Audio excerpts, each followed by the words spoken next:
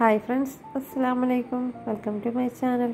അപ്പോൾ ഇന്ന് ഞാൻ വന്നിട്ടുള്ളത് ഒരു മാമ്പഴ പുളിശ്ശേരിന്റെ റെസിപ്പി ആയിട്ടാണ് കേട്ടോ അപ്പോൾ അതിനായിട്ട് ഞാനിവിടെ കുറച്ച് മാങ്ങ എടുത്തിട്ടുണ്ട്. നമുക്കിതൊന്ന് തൊലി കളഞ്ഞെടുക്കാം. മാങ്ങക്ക് ഇതാ തൊലി കളഞ്ഞെടുത്തിട്ടുണ്ട്.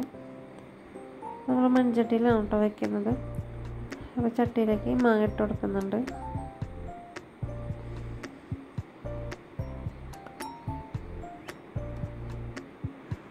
ഇനി ഇതിലേക്ക് അര ടീസ്പൂൺ മഞ്ഞൾപ്പൊടിയും ആവശ്യത്തിനുള്ള ഉപ്പ് ഇട്ട് കൊടുക്കാം.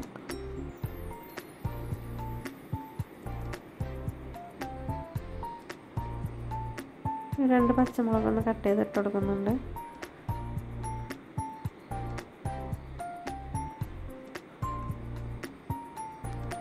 അല്പം കറിവേപ്പിലും കൂടി ചേർത്ത് കൊടുത്തിട്ടുണ്ട്.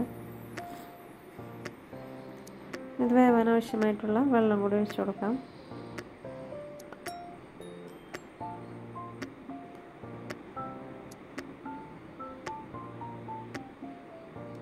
നമുക്കത് ഗ്യാസിലേക്ക് വെച്ച് കൊടുക്കാം. മാങ്ങ വേവുന്ന സമയം കൊണ്ട് നമുക്കിതിന്റെ അരപ്പൊന്ന് റെഡിയാക്കി എടുക്കാം. അതിനായിട്ട് ഒരു തേങ്ങയും പിന്നെ ഒരു ടീസ്പൂൺ ചെറിയ ജീരകവും അല്പം കുരുമുളകും പിന്നെ ഒരു പച്ചമുളകും കൂടി എടുത്തിട്ടുണ്ട്. ഇതെല്ലാം നമുക്ക് മിക്സിയുടെ ജാറിലേക്ക് ഇട്ട് കൊടുക്കാം.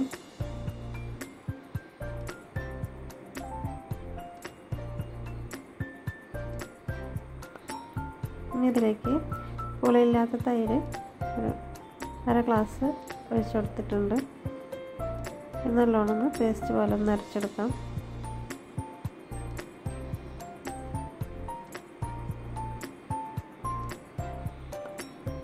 അപ്പോൾ അപ്പോഴേക്കും മാങ്ങയൊക്കെ വെന്ത് വന്നിട്ടുണ്ട്. നമുക്ക് ഈ അരപ്പ് ഇതിലേക്ക് ഒഴിച്ചു കൊടുക്കാം.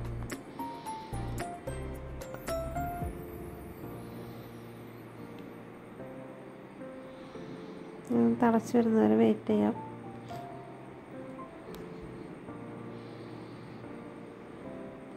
അപ്പോൾ നല്ലോണം തിളച്ച് വന്നിട്ടുണ്ട്. നമുക്ക് ഗ്യാസ് ഓഫ് ചെയ്യാം.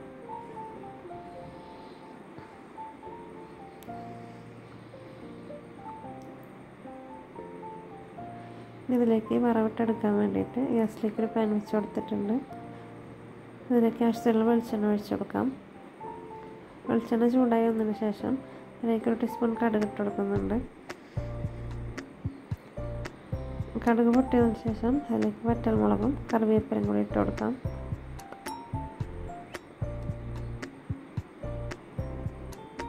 ഇതിലേക്ക് കാൽ ടീസ്പൂൺ മുളക് പൊടിയും കാൽ ടീസ്പൂൺ മഞ്ഞൾപ്പൊടിയും കൂടിയും ചേർത്ത് കൊടുത്തിട്ട് നമുക്കിത് കറിയിലേക്ക് ഒഴിച്ചു കൊടുക്കാം.